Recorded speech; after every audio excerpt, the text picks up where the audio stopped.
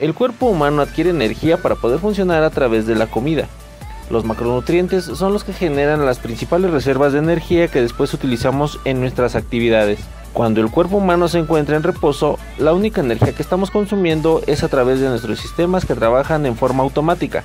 Cuando respiras, cuando duermes y solo hasta cuando estás sentado consumes energía a través de tu sistema sanguíneo, de respiración y todos y cada uno de nuestros sistemas consumen energía basal. Para poder quemar grasa específicamente debemos mantenernos en un cierto rango de pulsaciones por minuto de nuestro corazón, frecuencia de respiración y ritmo cardíaco. Cuando mantenemos esos parámetros, lo que estamos haciendo es quemar únicamente grasa.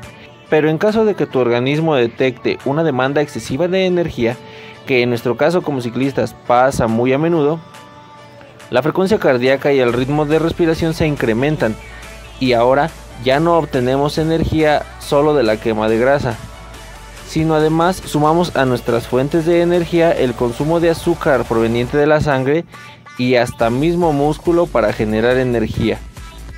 De esto parte que muchos ciclistas que solo se dedican exclusivamente a esta rama sean delgados, con demasiada fuerza, pero delgados.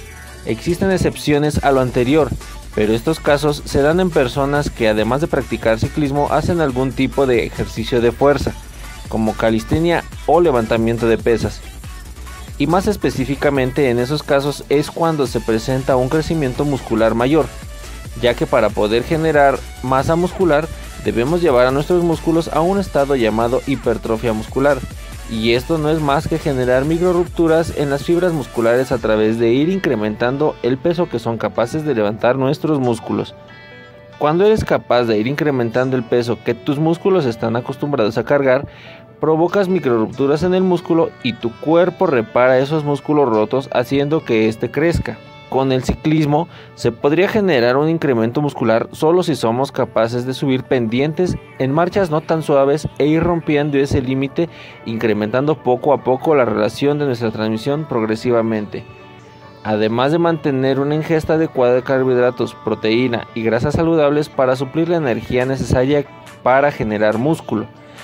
Además, con ello también se previene la pérdida de masa muscular por exceso de actividad. Esto anterior sería en condiciones ideales. Espero haya aclarado un poco sobre este tema. Esta explicación fue demasiado corta en un tema extremadamente grande. A grandes rasgos, lo anterior es lo que pasa en el proceso de crecimiento muscular.